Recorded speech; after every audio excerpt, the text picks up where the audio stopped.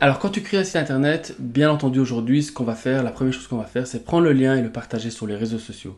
Alors tu as peut-être remarqué que quand tu partages un lien sur les réseaux sociaux et que tu n'as pas indiqué une image qui va être partagée du coup et liée à ce lien, tu vas te retrouver avec soit un lien, une image par défaut qui ressemble pas à grand chose et qui est un peu euh, déroutante pour l'utilisateur, soit pas d'image, juste un lien et c'est pas top parce qu'aujourd'hui tu vas pouvoir ajouter une image euh, reliée à ce lien bien spécifique. Comme ça, ça va être beaucoup plus agréable à regarder et plus facile à partager et puis avoir aussi plus de clics parce que si l'image est belle, il y aura évidemment plus de clics. Eh bien, je vais t'expliquer tout de suite comment il faut faire ça sur Webflow. Tu verras, ça va être super pratique et rapide en seulement deux minutes. C'est parti!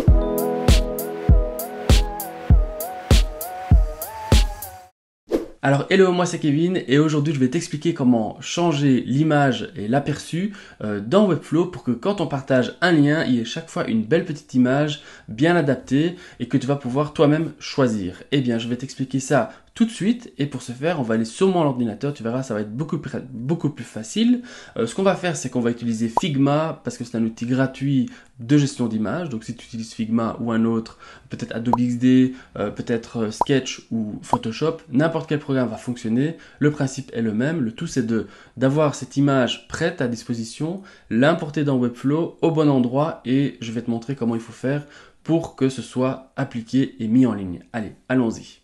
Alors ici, donc, je me retrouve sur un projet Webflow d'un côté, et ici j'ai mon onglet euh, Figma. Donc c'est bien parce que j'ai justement un client pour lequel je dois ajouter cette image. Alors cette image a un nom, elle porte un nom et elle, s'appelle l'Open Graph.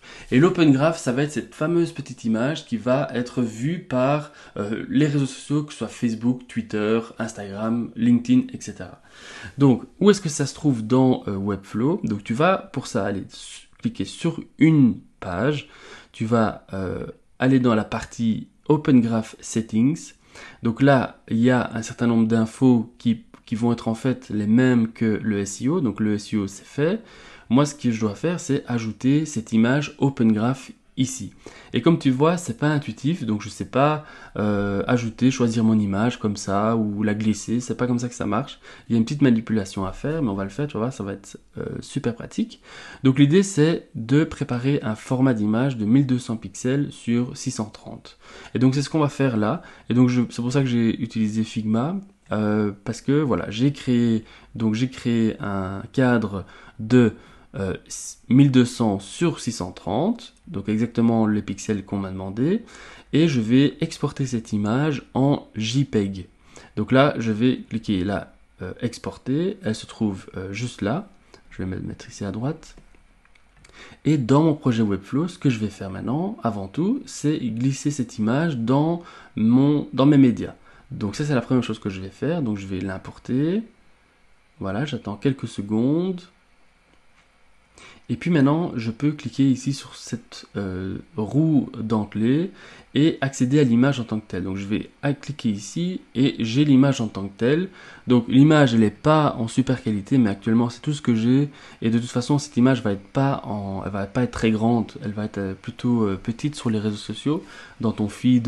donc voilà. Mais donc ce qu'on doit prendre nous, c'est le lien qui se trouve ici. Et donc je copie le lien je retourne sur mon projet Webflow, je vais sur ma page en question et je vais aller retrouver cet espace ici où je vais coller tout simplement le lien que je viens de euh, copier. Je vais sauver et puis en principe je vois déjà le résultat quand je reviens ici en arrière. Voilà. Voilà à quoi ça va ressembler. Et donc ça me plaît, pour moi c'est bon. Donc qu'est-ce que je fais? Je publie et j'applique ça pour... Donc d'abord j'applique ça pour toutes mes pages et puis je publie. Alors une petite subtilité à savoir, c'est que quand tu as un blog ou quand tu as une, des pages, quand tu as créé des pages dynamiques avec euh, Webflow, bien entendu tu as envie que l'image que tu partages corresponde à l'article ou à la page produit en question. Euh, donc ce sont des pages qu'on appelle des pages dynamiques, donc ça se crée différemment, mais donc on veut quand même utiliser cette image bien spécifique adaptée au produit ou adaptée au blog. Donc comment est-ce qu'on fait ça?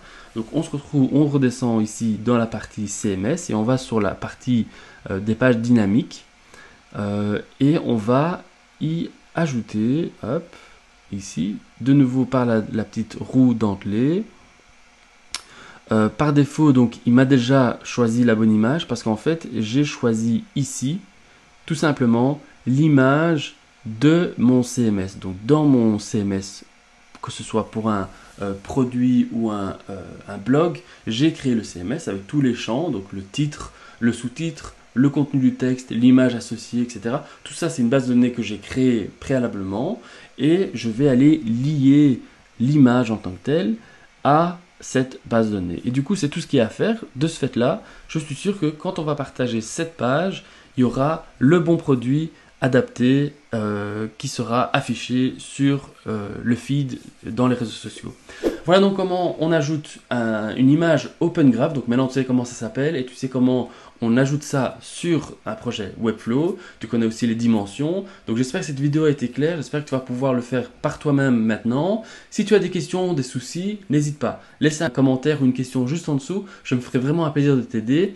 Pour le reste, bah écoute, on se voit demain pour une nouvelle vidéo. Ciao ciao